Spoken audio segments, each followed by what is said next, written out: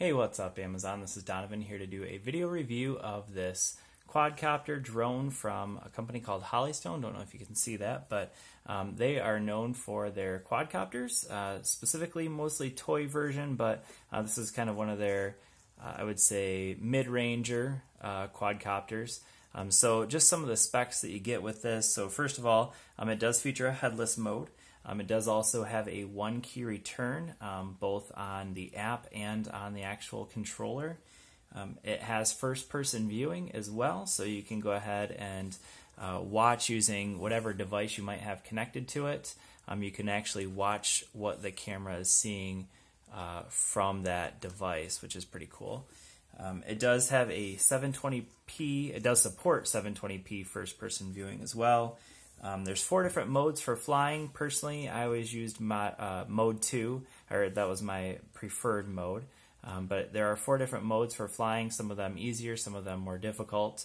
Um, and then uh, this does also have a 350 milliamp hour uh, lithium polymer battery, uh, which for me, that got me about seven to eight minutes of flight time, um, which you know isn't too bad. Um, that's pretty much right in the standard of what you would get with most quadcopters, especially in like the mid-range toy area. Um, and then this does also have uh, 2.4 gigahertz connectivity. So um, it's going to connect directly to uh, this controller. So this is the controller that it comes with. Um, so this is has multiple uh, options depending on which mode you're in, um, but the buttons do various things. So this is the controller that it comes with. This takes four uh, AAA or AA batteries. I'm sorry.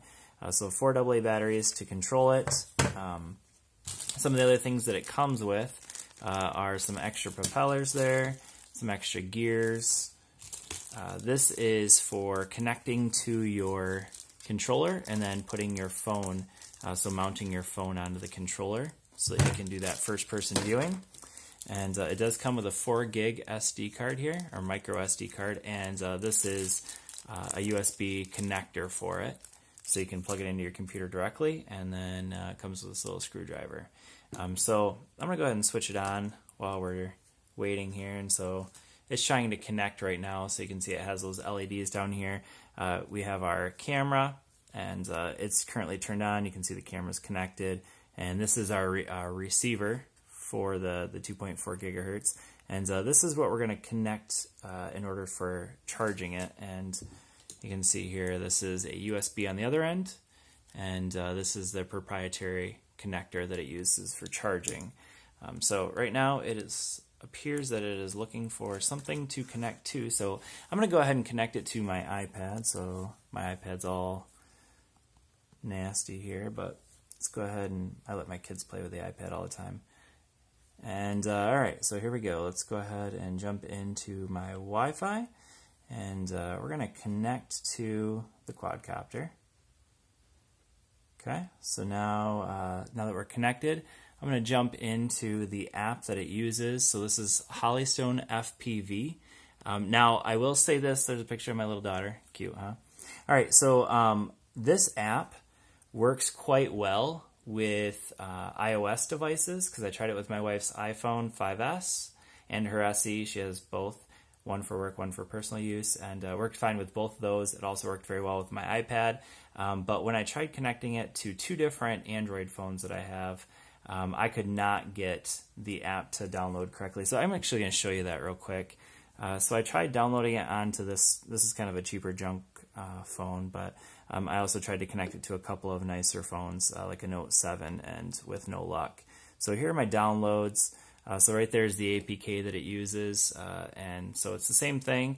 And then when you go in here, it kind of it tries to get you to go to Chrome or HTML viewer, which in in both cases it will not actually get the download for the. Um, so it'll say downloading, but then it never actually goes in and uh, downloads the actual app. So we can come in here, and again, it's just not going to go. So uh, I'm not exactly sure if there's a workaround with that, but um, yeah. So the Android, I, I haven't been able to figure that out, but so whenever I was using my Android phone, I would just use the controller, um, but uh, with the app, you can go ahead and use it this way. So that's just going to tell you that it is connected um, and uh, go ahead and turn that on. And once we do that, it will give us the option to, so now the it actually has um, the camera connected so you can see that uh, I can turn the camera towards me, you can look around, there I am. All right, so you can see kind of the quality of the camera there.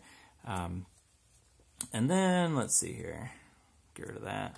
There we go. All right, engine start, so you can see it starting. And uh, I can actually start lifting it off, which I don't really want to do, but I can throttle it up there. We're going to go ahead and kill it here. All right. So you can see that uh, these all the controls work with the uh, with the iPad very very well. Um, same is true also with um, with uh, any iOS device. It worked very very well. Um, and then this would go ahead and uh, we can create a pattern for it to fly in.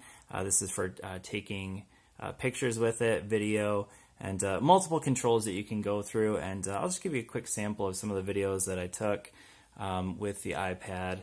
Now, the quality of the video camera isn't phenomenal, um, so you can kind of see that in this. Uh, so this is an iPad Air here, and uh, so that's just some of the video I took with this device, or with the, the actual drone while I was flying it a little bit earlier today. Uh, in terms of control with this uh, with this um, quadcopter, the controls are very very simple. I mean, this thing flies uh, very smoothly, um, especially if you're in mode two. So mode two actually just kind of keeps it hovering at one height, which is what you can kind of see with this video.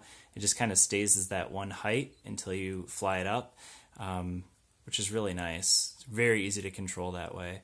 Um, and eventually right here, I think I crash. Oh, there it is. Okay. All right, so I crashed into some wood chips. But anyways, uh, so that is just a quick look at this quadcopter from Holy Stone. Awesome quadcopter. Uh, in terms of video, I would say that's kind of a negative, but in terms of the actual flight and the build of this thing, um, I do like that. Um, but anyways, thanks for watching. I hope this is helpful for you. If this is a quadcopter that you're interested in purchasing, uh, I enjoyed it. I've I've enjoyed using it. Um, it's been a lot of fun. And uh, anyways, as always, thanks for watching. And uh, if you have any questions, go ahead and leave a comment down there, and I'll try to help you out with that. Um, but anyways, thanks for watching, and I'll see you all in the next video. Peace.